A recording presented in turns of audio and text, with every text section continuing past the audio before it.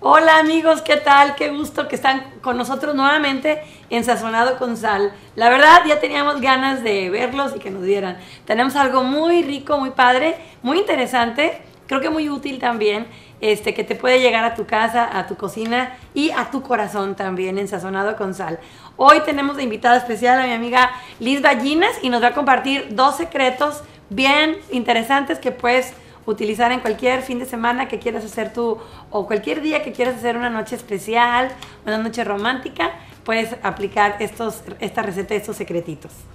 Hola, ¿cómo están? Hola, Sí. Gracias por invitarme nuevamente. Ok. Hoy vamos a hacer eh, unas entradas para Ok. una cena especial o Ok. para una noche romántica. Ándale, qué ¿verdad? rico, se me antojó. Sí, eh, vamos, a, vamos a hacer unas eh, uvas escarchadas con un pan, eh, una baguette rellena de queso.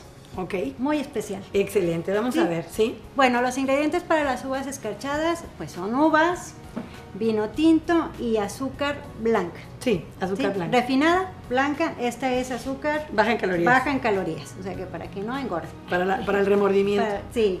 Y por otro lado vamos a usar jamón picado, vamos a usar cebollín, que lo pueden encontrar en una tienda que ya saben todos dónde, Sí. que está por el 8. Y vamos a y yo en este caso no lo encontré y usé una cebollita de cambray, Sí. le puse tantito de la cola de la cebollita Sí. y una cebollita completa. Es muy fuerte Ajá. el sabor, entonces sí trátalo de usar un poquito, no tan tan tan fuerte y un queso. ¿sí? Un queso vamos a usar, un queso crema. Vamos a empezar con Con las las uvas. uvitas. Vamos a vamos a cortar las uvitas en racimos chiquititos para que pueda este pueda tener todo el azúcar eh, completo, ¿sí? Vamos a ponerla, Mirellita, el, el- una cucharita que teníamos aquí. Ah, ok. ¿no? Yo te la doy, yo te la doy. Sí. Y escurrimos, lo ponemos en un lugar donde podamos espolvorear y no se nos manche el azúcar. sí, Vamos espolvoreando. Sí. Así de sencillo, fíjate. Ah, muy sencillo que es.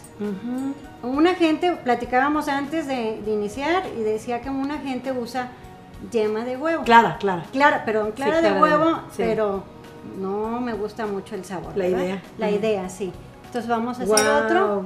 Vamos a cortar racimos chiquitos, Sí. no tan grandes. Sí, para que se puedan mojar bien con el vino. No tan grandes, los Sí. volvemos a meter. Sí. Escurre. Escurrimos y volvemos a espolvorear. ¿Sí? Espolvoreamos. Es súper sencillo y, y le da un, un aspecto, una presencia. Una presentación muy diferente a la normal donde ponen una entrada con uvitas Sí, y galletitas. Vamos a cambiarlo un poquito en, en esta ocasión. exacto. Vamos a ir a reservar Sí. un poquito Ok, y vámonos con el pan. ¿Ya Bien. ven que es bien fácil? Sí. Es bien, muy fácil. Ya cortamos el pan, cortamos, me encontré este pancito, Sí, vamos a cortar la puntita y con el mismo cuchillito vamos a aplastar el migajo. Ah, vamos a hacer un hoyito. ok. No lo sacamos. No le sacamos, nomás lo lo aplastas. sacamos. Ah, ok. Nada más lo aplastamos Súper. y ya. Por otra parte, ponemos el quesito. Vamos a poner aquí el quesito con cebollita al gusto. Si es romántica, vamos a ponerle un poquito menos de cebolla. Ah, sí, porque si no el aliento, Sí, ahí te ¿no? encargo, ¿no? Ahí nos, ah, sí. Sí. Y vamos a poner jamoncito. Ponemos el jamón, el jamón que quieras. Ok. El jamón que, que a ti te guste. Lo ponemos. Y empezamos a mover. Si quieres un poquito el sabor un poquito más fuerte, le puedes poner pimienta, un poquitito de pimienta, no le pongas mucho. ¿Pimiento morrón o pimienta? Pimienta, pimienta, pimienta. Tipo sal y pimienta. Así es, pero ya eh, de por sí el sabor es un poquito fuerte. Este te lo recomiendo con un vi- vinito tinto. Mm, Mm, muy rico. qué rico. Pero ya por sí es fuerte por la cebollita, por el- la, Sí. eh, la cebolla de cambray. El cebollín es un poquito menos, menos fuerte. Entonces ese lo puedes encontrar. Ya que lo tenemos, Lo empezamos a rellenar. Ya tenemos bien, Ok. bien nuestro. y bien. vamos a rellenar. Vamos Ok. rellenando. Vamos rellenando. Y queda así relleno. Súper. Y es una sorpresa también porque Sí, pues pues, muy lo diferente. presentas y luego... Ah, bueno, podemos rebanar, ¿verdad? Sí, si ¿Tú lo rebanas? Ajá, no sé si quieras ir sazonando. Bueno, lo podemos ir sazonando mientras. Mientras que y luego al amor- rellenar. Excelente. Al amor haces otro y uno lo rebanas y uno lo presentas entero. Ajá. Podría ser sorpresa así de que presentas tu, tu baguetito y luego cuando ya lo partes ya se ve el rellenito para adentro. Excelente. Bueno, voy a sazonar con un dicho popular que seguramente que tú has escuchado y es muy sabio, lo vamos a ver. Se llama El que quiera azul celeste, que le cueste, dice el dicho. Entonces ese dicho popular habla de que si quieres lograr algo, tienes que pagar el precio. Tiene mucha sabiduría, sobre todo, la verdad, en estos tiempos donde la gente quiere al- alcanzar el éxito sin esforzarse, sin que le cueste nada. Y la verdad, normalmente esto no es posible. Entonces, este dicho habla de que se necesitan ciertos elementos para triunfar en la vida. Se requiere carácter, se requiere trabajo y disciplina, o sea, que se te dé. O sea, no que no se me da, sino se te dé carácter, trabajo y disciplina. Y todo lo que te hayas propuesto, todas las metas que tú hayas decidido alcanzar, que te hayas trazado, se te dan, porque es carácter, trabajo y disciplina.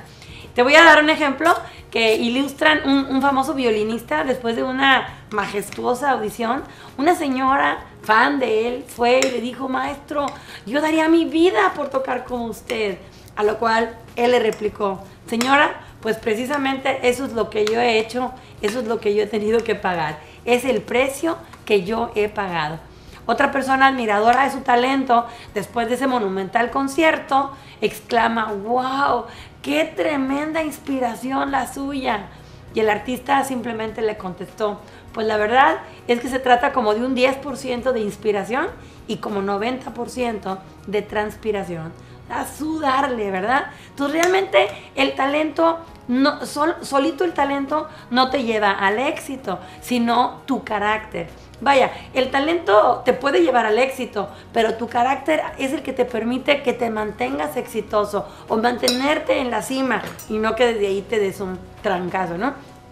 Hay muchos ejemplos de personas que han llegado a la fama por destacar en alguna área, en algún deporte, en algo que son muy buenos, ¿verdad? Pero si no hay una estructura entretejida de carácter, trabajo y disciplina, no aguantan el peso de la fama y se desploma. Por eso dice un proverbio que los bienes que se adquieren deprisa no son de bendición y no duran. Es como si quisieras tú de repente cargar un árbol delgadito, delgadito, con una tonelada de fruta. ¿Qué crees que va a pasar?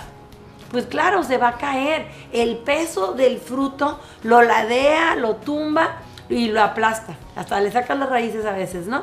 Y no es sino, no es sino el mantenerse firmes, echando raíces, superando los inviernos que lograrás conseguir que la estructura se desarrolle en ti y que te permita soportar ese honor del fruto y de la fama. Todo tiene un precio. El que quiera azul celeste, pues bien lo dice, que le cueste. Ahorita en este tiempo probablemente los niños están en exámenes, el haber estado atentos, el haber tomado notas, el haber hecho sus tareas, haber estudiado, les premia con buenos promedios y hasta exenciones. Esta delicia la pueden disfrutar, pero precisamente se requirió haber puesto en práctica CTD, carácter, trabajo y disciplina. Así que, pues, terminamos diciendo, como dice el dicho, el que quiera azul celeste, que le cueste. Muy bien. Bueno, espero que te sirva esta reflexión, que la puedas compartir también. Y vamos a ver qué está haciendo Liz, que aquí se ve muy interesante esta cocina. Entonces vamos a regresar con. Bueno, Liz. ya tenemos dos presentaciones. Ok. Vamos a hacer dos presentaciones. Ok. La lo presentas entero, puede Sí. ser así. Sí. Y la tapita se la puedes poner para Sí, que sea... para que sea ¿Es esa o es la otra? Es es, esta. es esa. Ah. Y la otra es partiendo el pan. Ok. Y la sorpresa es que ya tiene el quesito Ah, muy bien. incluido. Ok, excelente, qué rico. A ver si lo podemos ver. Sí, no sí, sé si sí. se puede acercar la cámara para poderlo ver. Ahorita le tomamos una foto. Vamos poniendo.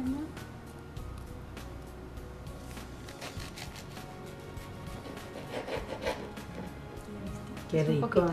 Lo podemos poner un poquito en el refrigerador para que el queso Quede más durito. Quede más durito. Al cabo este pan va frío como sí, quiera, ¿verdad? va frío Excelente. y podemos usar las Imagínate qué rica botana, así, Sí. el panecito, una uvita, Ya bien romántico, después de un día de trabajo y estar bien contentos en la casa. Excelente amigos, pues esto fue lo que te traemos el día de hoy. Mira cómo se ve. Wow. Esta es otra presentación. Ah, ok, es él, exactamente. Excelente. ¿Cómo ves? ¿Lo podrás hacer? Un, un toquecito de detalle para tu casa. Liz, qué linda, muchas gracias. Gracias por invitarme. Amigos, gracias por acompañarnos. Nos vemos en la siguiente con otro sazonado con sal. Que Dios los bendiga. Gracias.